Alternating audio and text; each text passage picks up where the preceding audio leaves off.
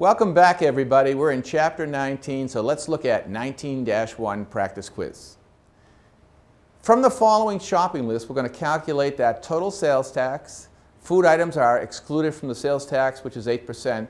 Keep in mind that every state has different uh, amounts for sales tax. As a matter of fact, some states don't have any sales tax whatsoever.